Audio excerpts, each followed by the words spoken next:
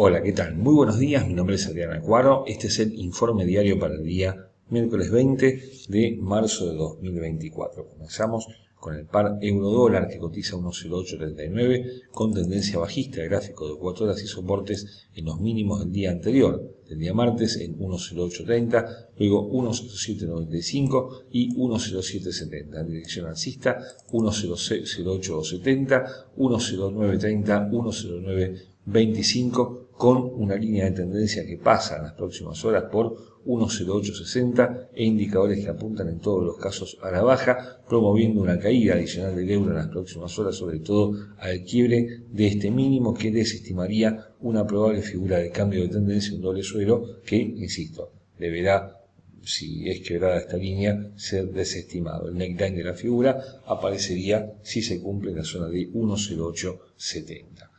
En tanto, la libra esterlina cotiza 1,2695 ante el dólar y una tendencia bajista de gráfico de 4 horas con soportes en los mínimos de la víspera en 1.2665, nivel al cual sigue 1.2645 y 1.2620. Al alza 1.2735, 1.2755, 1.2780.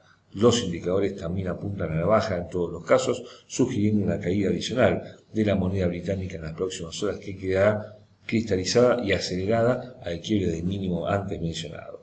El dólar CEN, por su parte, cotiza 151.69, cerca de sus mínimos de 36 años que tocó en octubre de 2023 en 151.95. Si lo supera, 152.30 y 152.65 serán los objetivos a tener en cuenta. A la baja, 151.25, 150.90, 150.55 con indicadores que presentan una sobrecompra extrema del 86% de demanda, con momento que acelera muy buena forma y estocástico totalmente agotado en su instancia superior. Esta bandera de continuación de tendencia ya cumplió su objetivo largamente y por ahora todo parece indicar que yen tiene más para perder que para ganar, aunque tiene una sobrecompra el par demasiado evidente. En cuanto al dólar australiano cotiza 0,6516 ante el dólar, una tendencia bajista de gráfico de 4 horas con soportes en 0,65, 0,5 eh, y 0,6475 mínimos